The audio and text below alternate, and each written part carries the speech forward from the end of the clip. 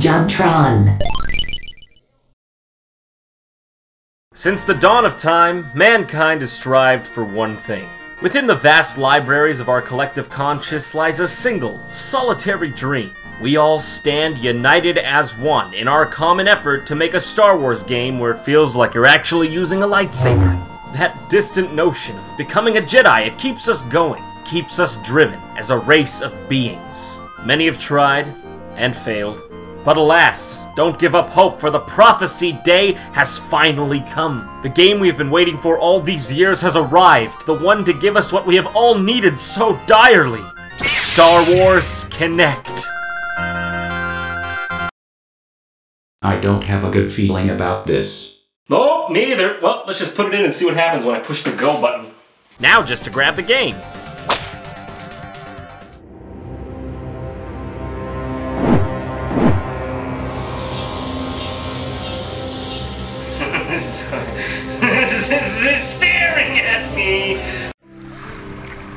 Well, holy hell! Apparently everyone wanted to be a part of this game because there's like a bajillion company splash art animations right at the beginning. Jeez. We're most excited to have you supervise our mission. Kinect Star Wars. Believe it or not, I was actually looking forward to this one. The ads were well made, and I thought, hey, maybe they could be onto something here. And I mean, the presentation so far is appealing. I mean, freeform lightsaber fighting, you can't beat that idea. Right, so you can either raise your hand over this here button to start the game, or say Xbox. Hmm, because I won't look like a total asshat doing that. Xbox! Xbox! I'm goddamn upstanding with this right now. Xbox! So R2-D2 and C-3PO are always present at the menu screens, talking their talk and narrating what you do. And if you leave the Kinect area, they get all confused. The commander just... Oh my goodness. You're right. Commander! Commander! Uh, uh, Okay, I gotta admit, it's kinda cute. I got a soft spot for clever programming. Mmm, these menus. Real responsive. And by responsive, I mean my one Hot Wheel with the fucked up tires was more functional than this. I want you to watch me try to do this. I want you to watch the whole thing. Just take a look. Alright. One. Two. Three. Alright, maybe I went at too much of an angle. Four. Five. Six. Seven. Let's go in easy this time. Eight. Alright, let's go so easy you couldn't possibly miss. Nine. Nope! I don't know who invented buttons. This is way fucking easier. Who needs buttons when you got Kinect? How much you say this Kinect thing was again? $150? No, yeah. It's a, it's a completely reasonable price. It's a good webcam. Alright, so let's start off with Jedi Destiny Dark Side Rising. That's basically the story mode in this game. There are other minigames included, but we'll get to those in a bit. So I gotta select my Padawan, huh? Yeah. So where's Luke? I wanna play as Luke, or Han Solo, or fucking anybody.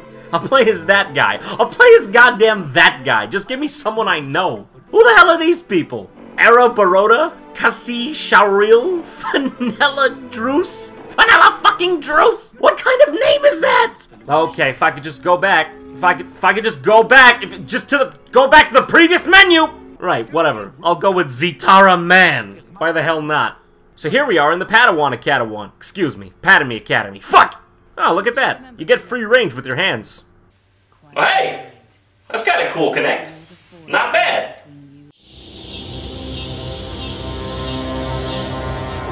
Oh, oh, okay. Oh, okay, sorry. Okay, just, stop staring at me like that. Okay, so you get your lightsaber here, and wow, it actually follows your hand pretty decently.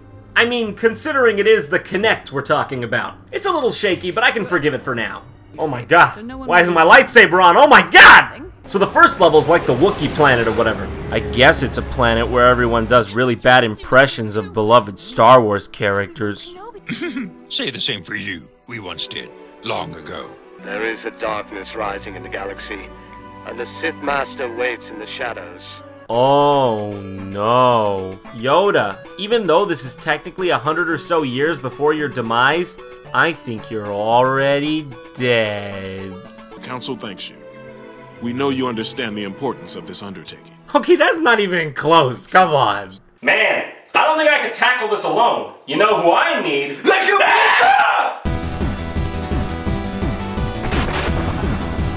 So this part's pretty cool, I guess. You lean left and right like you're on a speeder. It's decently responsive, but definitely not good enough for it to be anything close to competitive.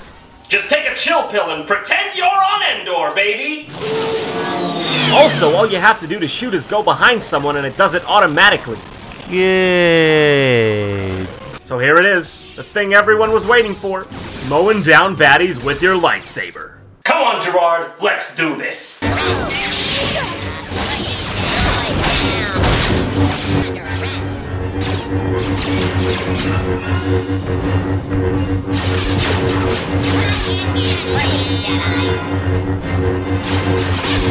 It's so easy. It's so easy!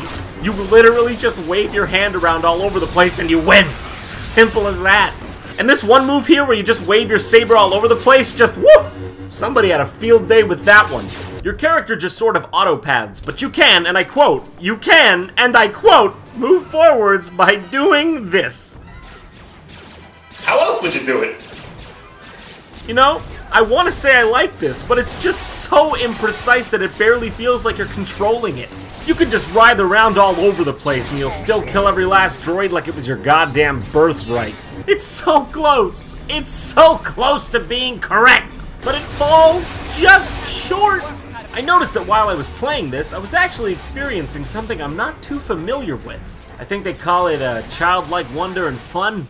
But then I realized, it wasn't really the game itself, it was more the fact that I was pretending to be a fucking Jedi. Imagination is half the battle in this. I mean, for shit's sake, I had no idea if my moves were even registering or not. I mean, come on, the Kinect can barely handle menu navigation. I was just swinging away like Star Wars kid with a snake in his pants and having the time of my life. You ready for this, Jirard? As unwilling as I'll ever be. Let's do this.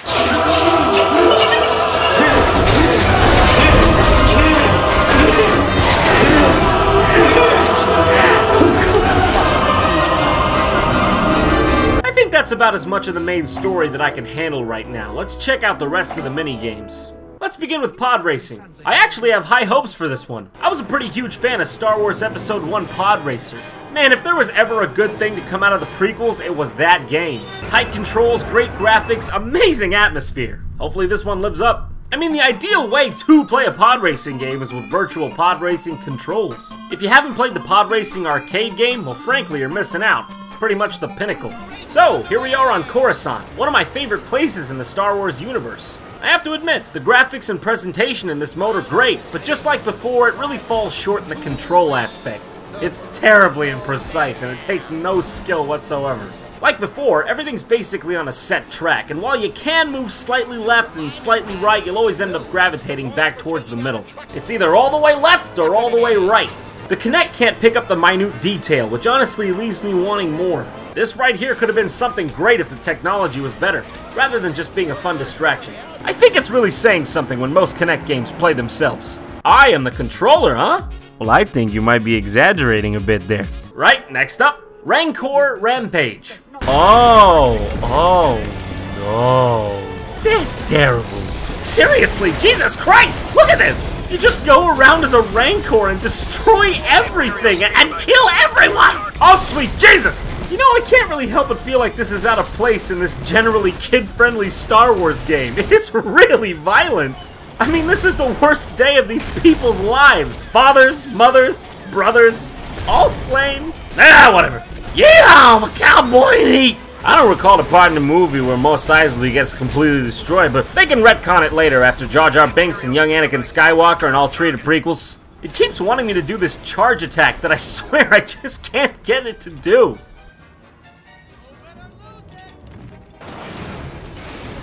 Next up then, Duels of Fate. Hey, it's got Darth Vader on the front, and it's got the promise of cool lightsaber dueling. Maybe it'll be cool.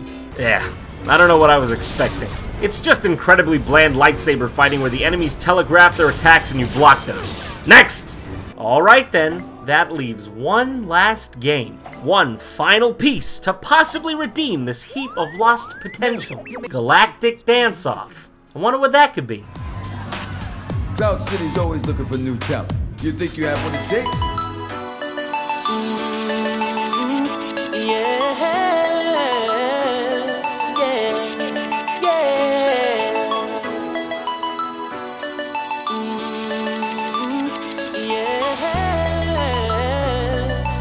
i oh my god! I can't believe this! I truly can't believe this one. When I first saw this, I was honestly confused. I just had no idea if what I was looking at was real or not. Was this a joke? Was this in earnest? I, I have no idea. All I can tell you is I am goddamn loving it. Well, if you can't beat him, join him. If I'm not mistaken, I believe they've taken the engine from another Kinect game, Dance Central, and slapped a Star Wars skin on it. And wow. Let's just say Lando, Princess Leia, and Han Solo have never looked more fabulous. I don't even know where I am anymore. I must have felt like an acorn. Don't fall off your horse, you're gonna break your head. You know, for all this game's flaws, I have to admit, I still had a lot of fun with it. It's definitely not the virtual reality future game we'd all been hoping for since the days of playing Super Star Wars on our old CRTs. But there's something to be said for a game that can make us smile in that most innocent of ways. A game that can surprise you with that same charming feeling you get when opening a present on Christmas morning or playing a great arcade game. No, this game is not perfect. In fact, if you're looking at it objectively, it's pretty goddamn terrible. But look past it, and I think you're left with something special. It, it, it's a shitty game, but I had fun with it, okay? Alright, I'll tell you what, there's one last thing on the menu here. Let's go ahead and take a quick peek before we end things. Scan M tag? I wonder what this could be. Oh! Oh! Oh! PlayStation Move, now in stores!